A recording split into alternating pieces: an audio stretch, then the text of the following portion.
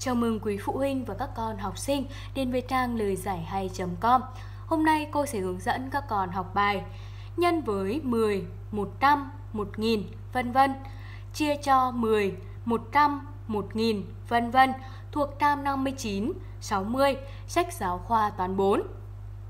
Đầu tiên cô sẽ hướng dẫn các con về phần lý thuyết. Cô có một nhỏ A 35 x 10 bằng chấm hỏi. Vậy dựa vào tính chất giao hoán của phép nhân, cô có 35 nhân 10 thì sẽ bằng 10 nhân với 35. Mà 10 thì sẽ bằng một chục. Vậy cô có một chục nhân với 35 thì sẽ bằng 35 chục. Mà 35 chục thì sẽ bằng 350. Vậy 35 nhân 10 bằng 350. Cô có khi nhân một số tự nhiên với 10, ta chỉ việc viết thêm một chữ số 0 vào bên phải số đó. Và cô có câu B. Ngược lại, từ 35 nhân 10 bằng 350 thì cô sẽ có 350 chia 10 thì sẽ bằng 35. Vậy khi chia số tròn trục cho 10 thì ta chỉ việc bỏ bớt đi một chữ số 0 ở bên phải số đó. Vậy, áp dụng kiến thức này, ta đến với hai nhỏ. Tương tự như thế, ta có A.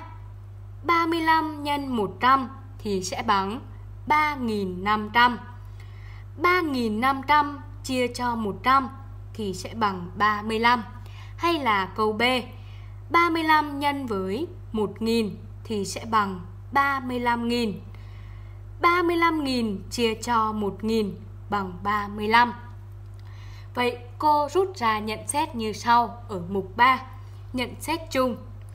Khi nhân số tự nhiên với 10, 100, 1000 vân vân, ta chỉ việc viết thêm 1, 2, 3 vân vân chữ số 0 vào bên phải số đó. Khi chia số tròn trục, tròn trăm, tròn nghìn, chấm chấm chấm cho 10, 100, 1000 vân vân thì ta chỉ việc bỏ bớt đi 1, 2, 3, vân vân chữ số 0 ở bên phải số đó. Vậy để áp dụng kiến thức lý thuyết này, cô cùng các con chúng ta đến với phần bài tập. Ở bài số 1 cô có đề bài tính nhầm. Vậy để làm được bài này, ta phải áp dụng các kiến thức như sau. Khi nhân số tự nhiên với 10, 100, 1000, chấm chấm chấm, ta chỉ việc viết thêm 1, 2, 3, chấm chấm chấm, chữ số 0 vào bên phải số đó. Khi chia số tròn trục, tròn trăm, tròn nghìn, chấm chấm chấm cho 10, 100, 1000, chấm chấm chấm, ta chỉ việc bỏ bớt đi 1, 2, 3, chấm chấm chấm, chữ số 0 ở bên phải số đó. Vậy áp dụng kiến thức này, cô cùng các con chúng ta đến với câu A. Cô có 18 nhân 10. Vậy cô thấy số 10 có một chữ số 0. Vậy cô sẽ viết thêm một chữ số 0 vào bên phải số 18. Cô được kết quả bằng 180. Tiếp theo cô có 18 nhân 100. Cô thấy số 100 có hai chữ số 0. Vậy cô sẽ viết thêm hai chữ số 0 vào bên phải số 18. Cô được kết quả bằng 1800. Tiếp theo cô có 18 nhân 1000. Vậy cô thấy số 1000 là số có tận cùng 3 chữ số 0. Vậy khi nhân với 18, cô chỉ việc thêm 3 chữ số 0 vào bên phải số 18. Cô được kết quả bằng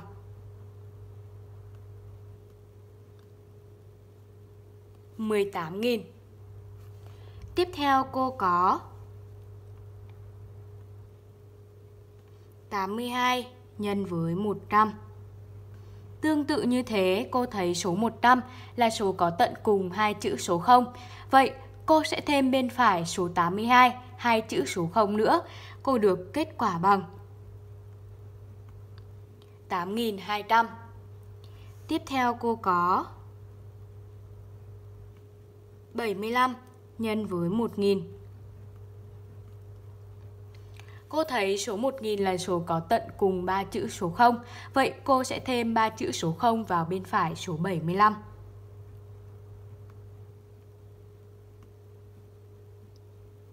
Cô được kết quả bằng 75.000. Tiếp theo cô có 19 x 10. Tương tự như thế thì cô viết được kết quả ở đây bằng 190. Tiếp theo cô có 256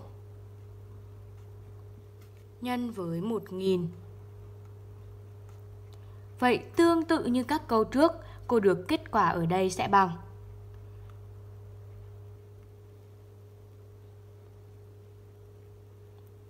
hai trăm năm mươi sáu nghìn. Tiếp theo cô có 302 nhân 10. Cô được kết quả bằng 3020 và 400 nhân 100 cô có kết quả bằng 40.000 Vậy tiếp theo cô cùng các con đến với câu B. Cô có 9.000 chia 10 Cô thấy số 10 là số có tận cùng một chữ số 0.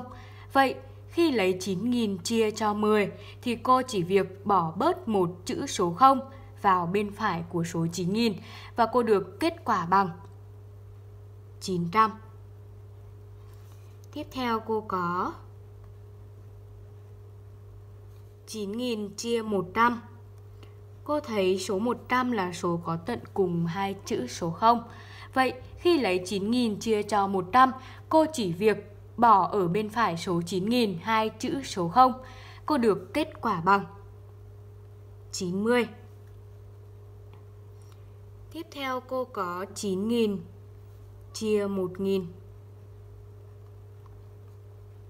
Tương tự như thế, số 1.000 là số có tận cùng 3 chữ số 0. Vậy, khi lấy 9.000 chia cho 1.000, cô chỉ việc bỏ bớt 3 chữ số 0 ở bên phải số 9000. Vậy cô được kết quả bằng 9. Tiếp theo cô có 6.800 chia 100. Vậy, tương tự như các câu trước, cô sẽ bỏ hai chữ số 0 ở bên phải số 6.800 và cô được kết quả bằng 68. Tiếp theo cô có 420 chia 10. Và tương tự, cô thấy số 10 là số có tận cùng một chữ số 0. Vậy, cô sẽ lấy 420 chia cho 10 bằng cách cô bỏ một chữ số 0 ở bên phải số 420 và cô được kết quả bằng 42. Tiếp theo cô có 2.000 chia 1.000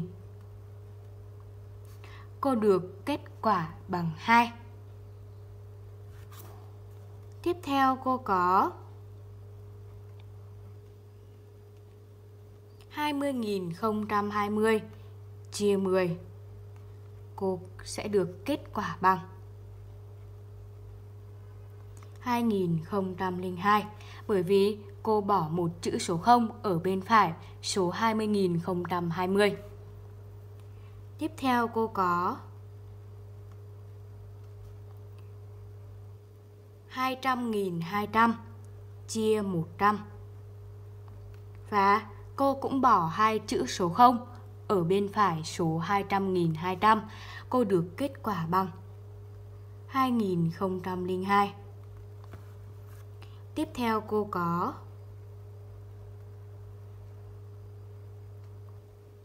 hai triệu 002 nghìn, chia một nghìn. Cô cũng được kết quả sẽ bằng 2002 Bởi vì cô bỏ ba chữ số 0 ở bên phải số 2 triệu 002 nghìn, Sau đó cô được kết quả bằng 2002 Vậy vừa rồi cô đã hướng dẫn các con làm xong bài số 1 Chúng ta cùng đến với bài số 2 nhé Ở bài số 2 cô có đề bài viết số thích hợp vào chỗ chấm. Cô có ví dụ mẫu như sau. 300 kg bằng chấm chấm chấm tạ. Vậy cách làm như sau. Ta có 100 kg thì bằng 1 tạ. Nhầm, 300 chia 100 bằng 3. Vậy 300 kg bằng 3 tạ. Vậy áp dụng kiến thức này, chúng ta phải quan sát kỹ ví dụ mẫu và làm các câu còn lại tương tự như ví dụ mẫu. Vậy ở bài Yến, Tạ, Tấn và bài Decagam và Heptogam thì chúng ta đã có một cái bảng về thứ tự các đơn vị đo khối lượng. Cô có thứ tự các đơn vị đo khối lượng theo thứ tự từ lớn đến bé như sau. Tấn, tạ, yến, kg, hectogam, decagam và gam. Vậy áp dụng kiến thức này, cô có 70 kg bằng bao nhiêu yến thì cô quan sát vào đây, cô thấy một yến thì bằng 10 kg.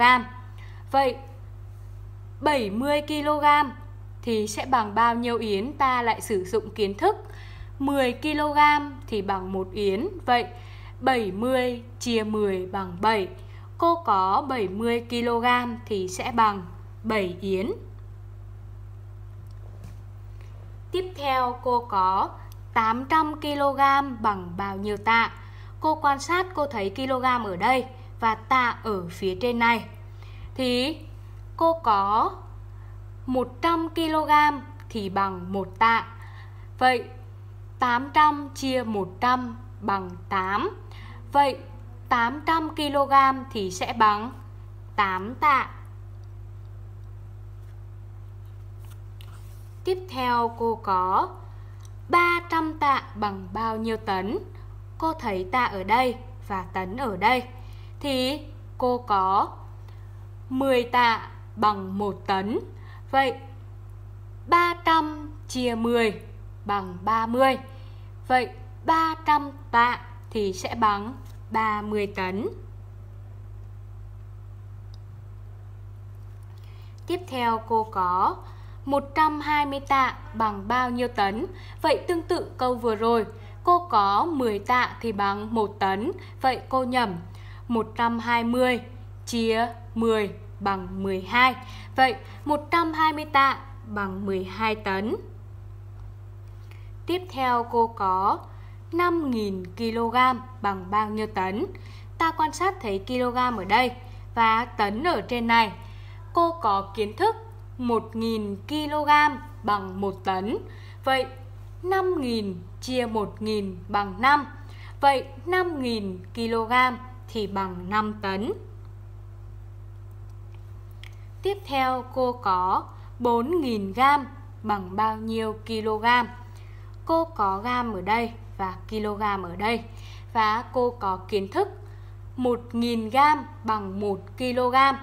Vậy cô nhẩm 4.000 chia 1.000 bằng 4. Vậy 4.000 gam bằng 4 kg.